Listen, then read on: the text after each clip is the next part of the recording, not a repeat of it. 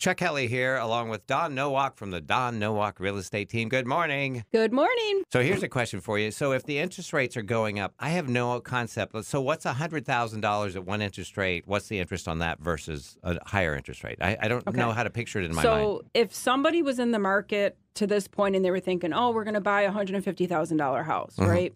And the interest rate was three point two, right? Yeah. Their uh, mortgage for thirty years. w- I'm I'm making this number up, but Yeah. just to give you an example, their mortgage with their taxes per month might have been thirteen hundred, Okay. right?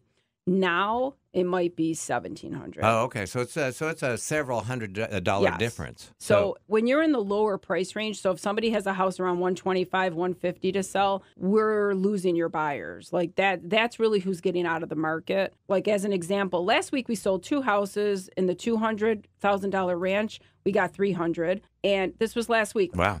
We listed a $300,000 colonial and we got 350. Wow. So there's, there's still competition out there. Exactly. There's still buyers out there because there's no houses. We're under 500 active listings right now. And and your point is is that because the market is the way it is, and we don't know what necessarily is going to happen, and they are trying to slow the economy down. If you're looking to sell soon, sooner is better than later. Yes. So- I've literally been calling a lot of your listeners actually that are my clients. I've been calling the clients and I'm just telling them if you're thinking in three weeks, let's do it now because, you know, fear changes the market. When Sure. people are unsure, that makes them fearful and they, they, you know, tighten up their wallets. Yeah. Right. No, so that makes sense. right now, the buyers are still out. So if, if we're looking to, to downsize, declutter, anything uh, real estate involved, how do we get a hold of the Dawn Nowak Real Estate Team? You can email me directly at dawnsoldanother at kw.com or call me 585 317 7749.